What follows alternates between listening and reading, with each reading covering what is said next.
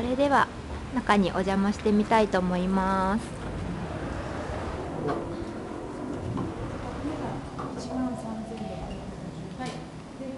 入ってきました。あこんにちは。こんにちは。よ今日はよろしくお願いします。ろしくお願いします。えっと旅館航路のえっと北原さんに今日はお話を伺ってみたいと思います。それではえっとえっとじゃあ少しだけ案内をよろしくお願いしますはい。えっと旅館航路さんはあのすごく京都のど真ん中にあってはい。あのおしゃれな外観でちょっと目立ってるんですけれどもそうですね。はい、えっと、どんなお客様が多いんでしょうか？うーん。まああの比較的女性の方多いですし、はい年齢層も若い方が多いですね。ああそうですなんか入りやすいですもんね。そうですね。まああのロビーのそのデザインなんかも、あちらですね。ちょっとではそのロビーに向かってみたいと思います。えうん。でもう20年以上は経つんですけー、ども。あ、そうなんですね。まあ建築家の先生にああ設計していただいて、そうですよね。すごくおしゃまあれで、旅館なんですけど、はいモダンな雰囲気で、はい。はい。そうですよね。なんかやっぱり女性一人でもちょっと泊まれそうな 感じですよね。うん、そうですね。はい。そのもしあの宿泊とかはい。をしなくても、はい。と利用できたりはするんでしょうか？あのもちろんお食事だけでご乗いただけます。ああそうなんですね、大体どんな感じのお料理がいただけるんでしょうか？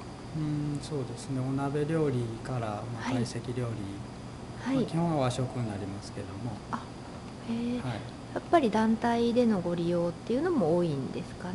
うん、ご宴会はやはりあの団体様、まあ企業のご宴会なんかですと、はい。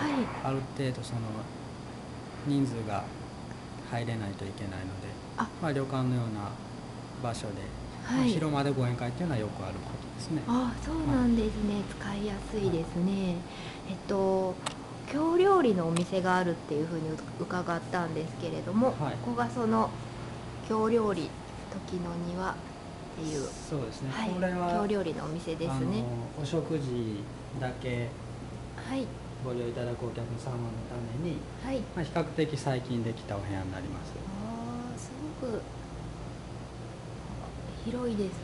まあ、こちらは純和のデザインで、はいそうです。雰囲気がまたガラリと変わりますね。へあーのまあ、接待使いですとかはい。お祝いの席なんかでもよくご利用いただいております。あそうですね。ちょっとこうね結婚のこう顔合わせとかね。そういうのにもはい。使っていただけそうですね、はい。これあこちらがロビーですか？まあロビーはずっと通ってきたロビーですけど、そうですねこちらずっと通ってきた。あそこが終焉。はい、あちらからもじゃあ入ってこら、まあ来れるってね。玄関ですね、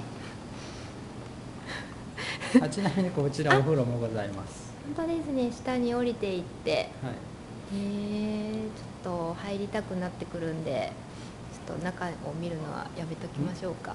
いやどっちでもいいですけど、はい、見せてもらってもいいんですか？じゃあ行ってみましょうか。えいいんですか？じゃあちょっとご好意に甘えまして。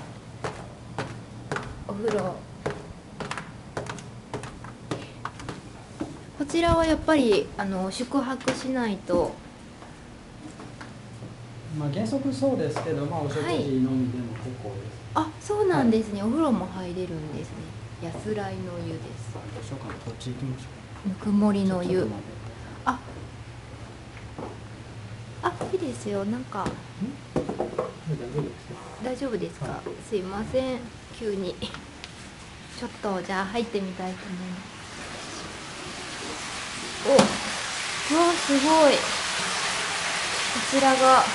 これは。はい。湯は？はまあお湯は地下水ですけど、いまあこの辺り温泉ではありませんので、はい。うん、えー、でもすごいヒノキですか？そうですね。えー、ちょっといいですね。はい。こんな大浴場にゆっくりと入りたいです。はい。よいしょ。すいません。お邪魔しました。すいませんおっとあすいませんありがとうございますではよいしょ。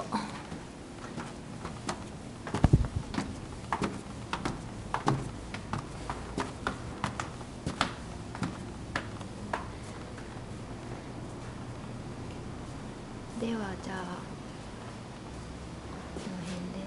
はい。はいでは、えっと、北原さんから動画をご覧の皆様に、はい。えっと、何か、えー一言お願いします。